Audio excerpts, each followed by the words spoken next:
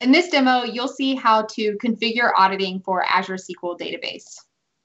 So here in the portal, we're looking at my Azure SQL database, and down on the left under security, I can select the auditing tab. Now, this is where I would go if I want to enable auditing on just this database. However, if I want to enable it on all of the databases for the server, I can go ahead and click View Server Settings.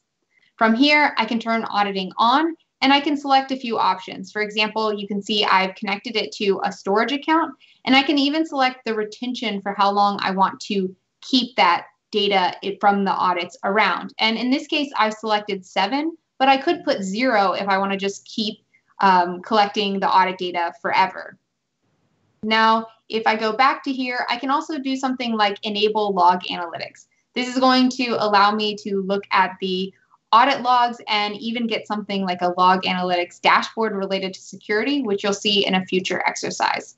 But in order to configure this, I basically have to select or create a, a log analytics workspace. And for this one, I went ahead and created one, AW server, basically the name of the server followed by LA for log analytics. And I just go ahead and select save. Now, if I go back to the database, what I'm going to see is that even though auditing is turned off for this database, auditing at the server level is enabled. So what this little info blurb tells you is that basically if you have auditing enabled on the server, it's going to be enabled for all of the databases in that logical server.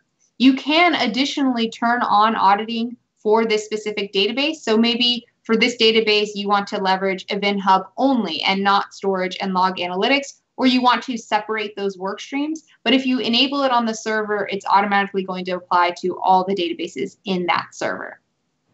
So that was a quick demo to show you how to get set up with Azure SQL database auditing. And uh, we hope you stay tuned for the next video.